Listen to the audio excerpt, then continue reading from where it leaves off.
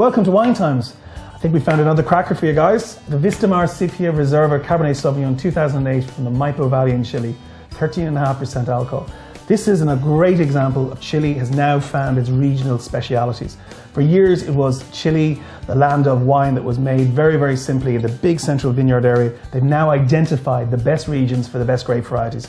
We tasted the Casablanca Chardonnay, stunning, cool climate with really good use of oak. This is Maipo, the home of Cabernet Sauvignon, where all the great, great old vines are in Chile, and this really delivers.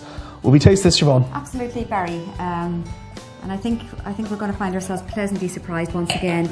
This Vistamar range has just been superb Absolutely. um, for us, and I have to say, um, it's very very interesting to see how this Cabernet lives up to his expectations.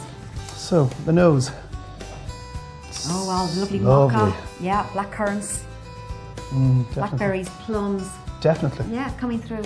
But complex, not simple nose, not No. you know, not one-dimensional wines at all. Great, great, great flavor. Let's, let's taste.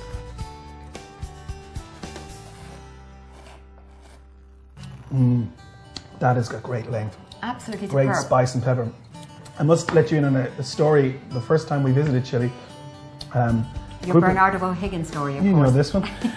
Bernardo Higgins is the great liberator of Chile. Came from Sligo, and everywhere you go in Chile, the main avenue is called Avenue O'Higgins in honor of, of Bernardo. And we decided one day, when we were in Chile, that we'll go and see a local game, um, which was between the two biggest teams, Colo-Colo and University Ca- Católica Santiago. Got to the stadium, complete sellout. Really disappointed after travelling half the way across Santiago. But luckily, one of our company, who was from Ireland, had his passport with him. And guess what? His name was O'Higgins. We walked to the gate.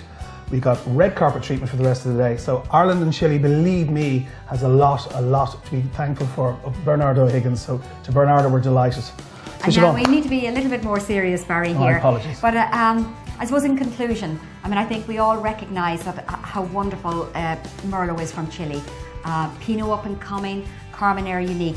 But I think you know the thing that uh, stands out for me here is that they can really do a cracking Cabernet. This- And just imagine this with a Sunday roast. Superb. absolutely, absolutely. Well, cheers, salut.